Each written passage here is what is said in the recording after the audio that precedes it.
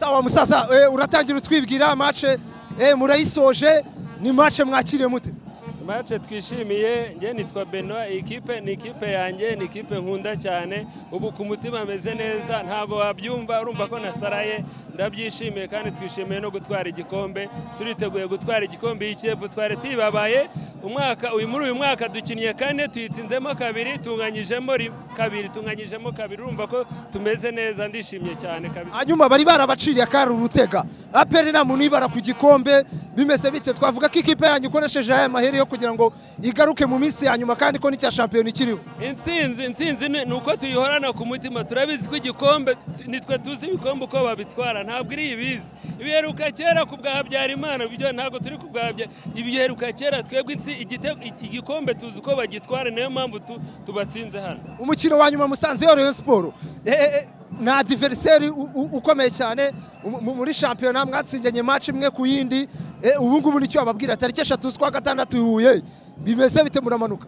Rayon Sport irabimenyereye yo ni ikipe yacu ni abagore bacu bitegure ko turi tayari kandi igikombe tuzayitwara. Nta kipe y'ingabo yata- yatahiraho mu mwaka ntibishoboka. Umusaza tuba match irarangiye birangiye ikipe ya Kiyovu.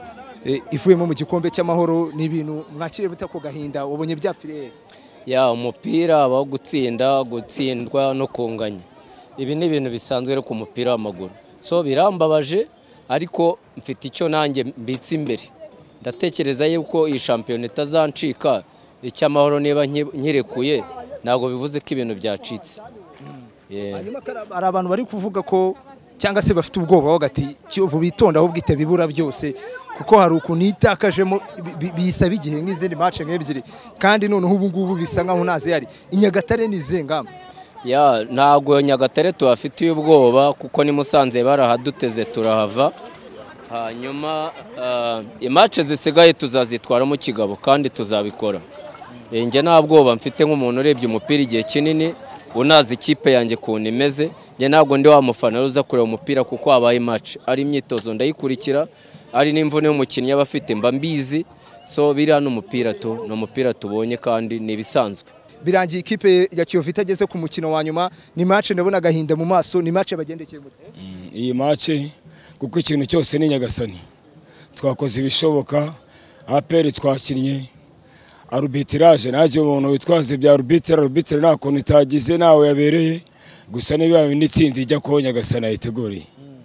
Wabonye umuvandimwe we wabonye byapfiriye he uyu munsi yari match ubundi byari bibengereye ko Kiyovu ikunda kugora n'amakipe akomeye wabonye we byapfiriye? Ni amahirwe makeya. Ni amahirwe makeya kubera yuko wabonye yuko riyadi yarase uburyo akimara kurata uburyo bwa mbere. Abedi yakurikijeho uburyo bubiri. Na picunari shoti nawe mbere yuko avamo yari ya- yateye.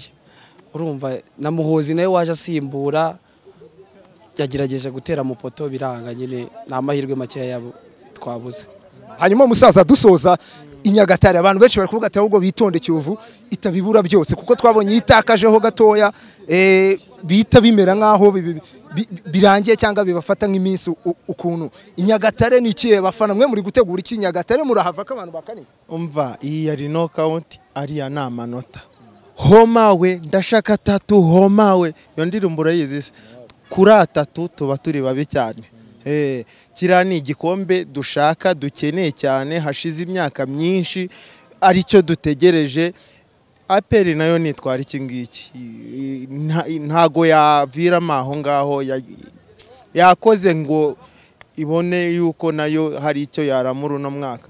Ntago bikunze kubaho yuko mu rwanda ikipe itwara ibikombe bibiri byose bikomeye. Nitwe twari tubigerageje kuko byose twabonaga dufite ubushobozi. Ubwo rero navuga yuko ntago bishoboka yuko rwose nyagatare twavayo nta no kunganya ni amanota atatu. Ahubwo mbwira abantu b'i nyagatare ubu- ubwo mperukayo nari ndi kubaka imihanda ya hariya mu mujyi eh, kubera ko nkora akazi k'ubufundi noneho naje nje gutwara amanota atatu nje gutaha n'imihanda nubatse. Homawe ndashaka atatu homawe.